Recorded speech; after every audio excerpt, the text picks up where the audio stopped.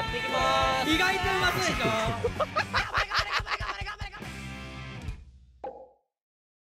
いやー CR カップ出たかったな。最近格ゲーのモチベーション高いから。韓国なんですよねその時期。番組ではね。どこ行くだから。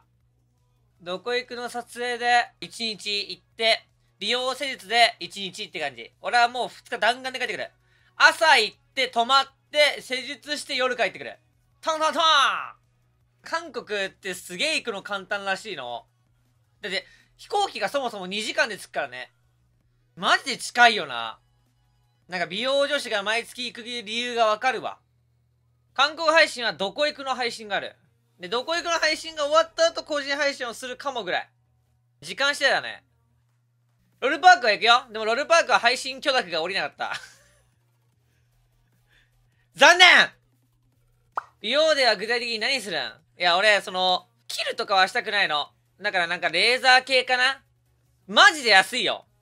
日本で全部の施術合わせて一つの院でやって35万ぐらいするメニューが、韓国だと10万だから。そんぐらい安い。で、その、日本人の感覚からすると、高いものが安くなってんだから危ないんじゃないかっていうイメージなんだけど、違くて、もうあっちの医療が発達しすぎて、美容系の。需要がありすぎるからさ、逆にあこ日本は需要がないから一回一回は高くしないといけないわけよ。何どこがいいのか。いや、そう、失敗が多いだけて、なんか、女の子とかって、ほくろって取るんだよね、プチュって。で、1個100円でやりますとかやるところあんの。安って思うじゃん。全然失敗するらしい。まあでも、美容施術の失敗で言うと、日本も別に、あ、全然あるから、それこそ症例数が少ないからさ、看護師さんとかなんか入りたてでも、そのレーザーとかパチンパチンパチンって打つわけよ。それ失敗するんだよね。ほくろって、表面じゃなくてさ、奥深くまで埋まってんのよ。だから、結構深くまで、チュポンって取るらしいの。で、その後にお酒とか飲むと血流良くなってそっから血がピュッて出るらしい。痛々しいよな。俺が、なんか整形っていうのでやってみたいのって、マジで1個で、鼻のここなんだよね。鼻のさ、中の軟骨がさ、形違うってやつ。微中核湾曲症。子供の時からすごい花粉症なの。手をパーにしてこうやって書くんだよね、俺。子供の時。もうこうとかじゃないの。俺、こう書いてたの。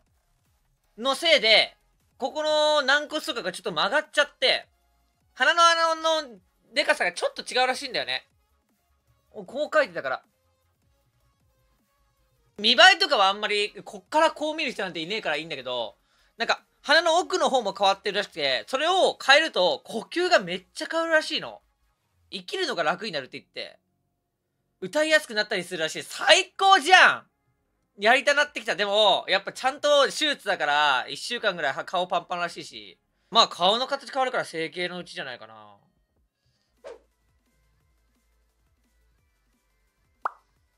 あんまり配信来れてないんですけど、サさの最新のスキンケア動画1本あげてほしいな。スキンケアなんて直接高い化粧水とか、ちょっとは効果あるかもしんないけど、皮膚ってさ、内側から代謝してんの知ってるでしょ？ミルフィーユの外側だけちゃんとしてる感覚なのよ。でもそのミルフィーユの外側って剥がれるじゃん。どんどんめくったら中出てくるでしょ？その中を良くするにはさ、飯なんだよね。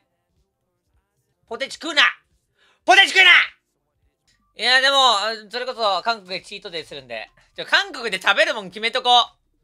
あっちでしか食えない。なんかさ、あの、生きてるタコ食べたいあの、器から踊り狂って出ていくやつ。ここら辺はいいよな。な、トッポギを食べたいね。なんか、辛そうだな。あ食べたい食べたい味の濃い焼きそばでしょこれあ、そうだね。本場のフライドチキンも食ってきたいな。サムゲタンって言うんだ、これって。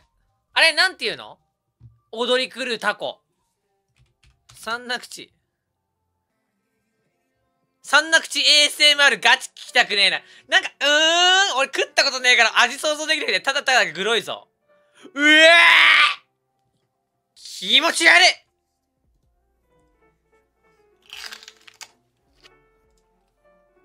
な、三な口衛星丸すんな。いらん、三な口の衛星丸。危ねえ危ないてかそうなんだよ。あのね、なんか韓国の人たちってさ、食べた後にさ、箸とかをさ、こう、机にこうやってつくんだよね。揃えるために。なんかそこら辺全然なんか、綺麗に食べようっていう心があんまりないんだよね。マジで文化だと思う。こう、食って、なんかこうやって箸もしながら喋って、箸がずれたら箸をつけてトンって 揃えてから食うの。最近 TikTok とかでさ、俺勉強してるんだけど、韓国のバカイケメンとか出てくるわけよ。ね、こうやって韓国のバカイケメン超かっこつけてて。ね それなんかちょっとカメラがピッて下にぶれたりしてさ、机映るとさ、ぐっちゃぐちゃなの。その、め、皿の中とかがぐちゃぐちゃとか言っても、机自体がぐちゃぐちゃで。へえ。これは絶対食ってくれ、俺、サンナッチ。私が食べたかった。安いね、この量で。量がすごいね、韓国の飯って。1000円ぐらいでこれ出てくんの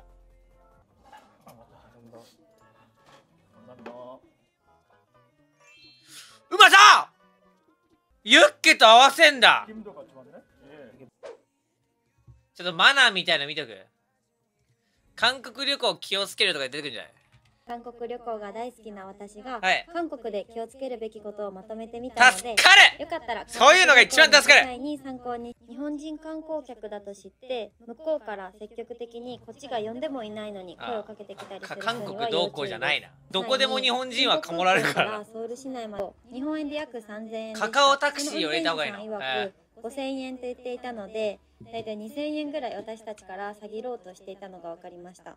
私は結構警戒心が強いので韓国旅行に行った際にはなるべく個人タクシーには私は結構警戒心が高いのでありがとうございます。タクシーといってちゃんとした企業さんから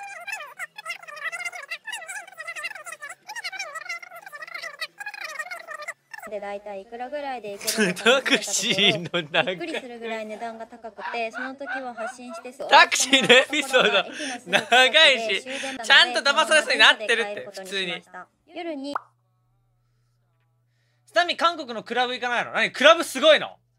新宿と渋谷に有名なのあんじゃん。クソ思んなかったんだよね。俺、今後多分クラブって一切行かないなと思ったんだけど、韓国ってそんなレベルが違うの？韓国身長、身長制限とかある。何？ディズニーみたいやん。どういうこと？韓国のクラブの女の子は顔面偏差値が良いらしい。へえ行く お猿さんになっちゃう。お猿さんになっちゃう。行く俺、クラブ行ってくる高まったわ。高まりました。完全に高まった。韓国への欲求が。ギャンブルはする。ギャンブルはちょっとしてくるわ。どこ行くの企画でできるかな？映せないけど。今回彼女でお金借りれる人いるの？いや、ボトコから200万借りる俺。絶対に借りる俺。現現地でね、交渉するわ。今のメータは、自分の金でギャンブルしないだから。世の中の流行りは。その流行りに乗ってくわ。